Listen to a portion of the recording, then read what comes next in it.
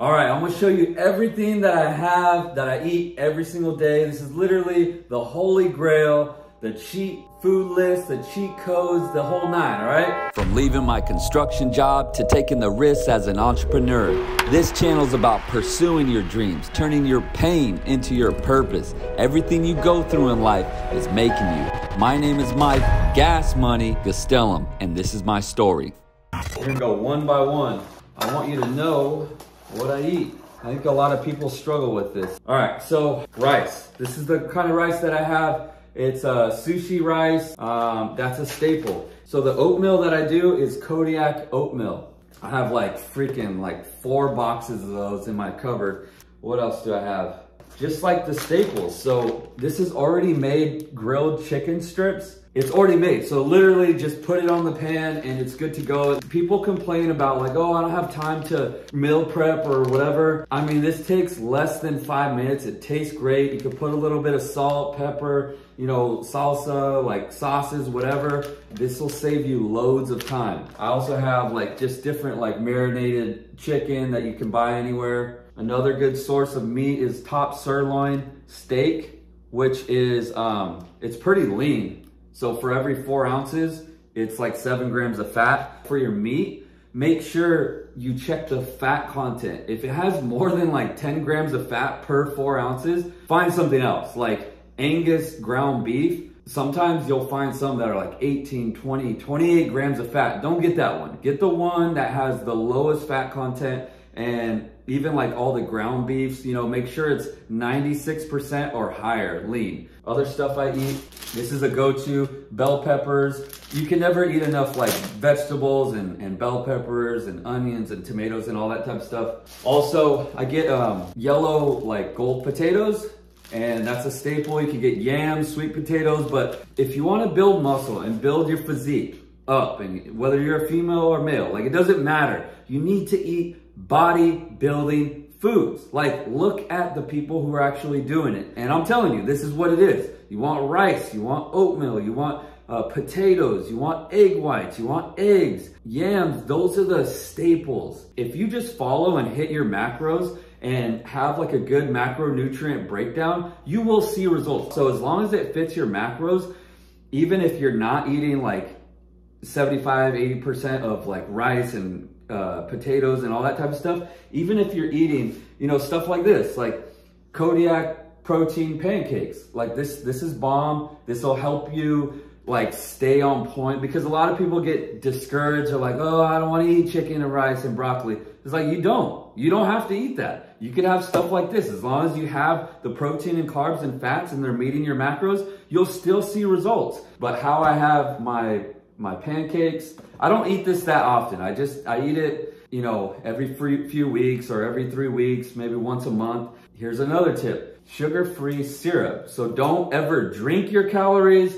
Don't get like barbecue sauces. Don't have syrup that has a lot of carbs uh, in it or sugar in it. So do the sugar-free. Better than having the, the carbs in your diet and then, you know, you getting fat, losing results and all that type of stuff. So this is another go-to. So talking about fat. If you could, I know they always say like eat fat to lose fat. It's, it's not true. If you eat too much fat, you're going to get fat. That is why people who have a lot of, you know, avocados, peanut butter, uh, ground beef, they, they look like shit. So once you can dial those numbers back down and eat like a moderate amount of fat, you don't need as much fat as you think. Um, so this is a good substitute. PB Fit powder, I have both. So instead of having like regular uh, peanut butter, which has a grip of fat, you wanna get the reduced fat one. If I want peanut butter and I have like a little like craving, I'm gonna use this because it has two grams of fat versus 12 grams of fat. So if you're gonna cook,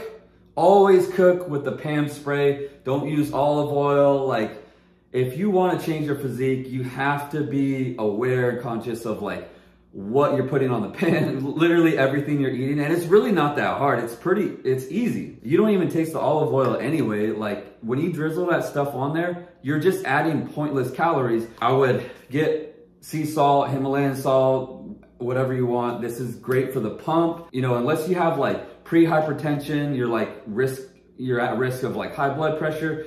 Um, for the most part, like salt is good. It's sodium and you need that to stay hydrated. You need the electrolytes.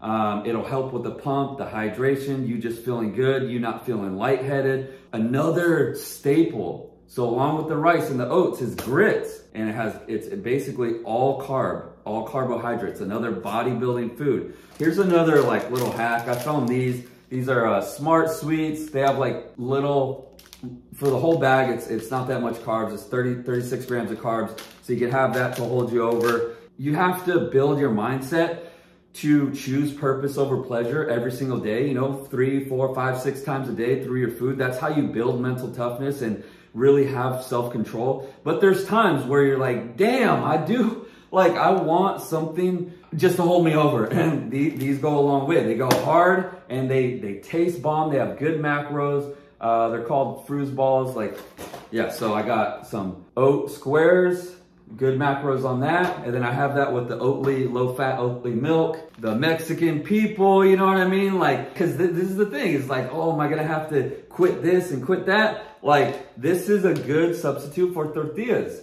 So cactus tortillas is, I mean, honestly, they have six grams of carbs, but I don't even know if you would count it. It's just cactus. I still count this, but it's six grams of carbs per tortilla. And these are, they go hard and they're a lifesaver. So if you're on like a, a cut, that's the way to go. Um, and then also get the Tia Lupita salsa.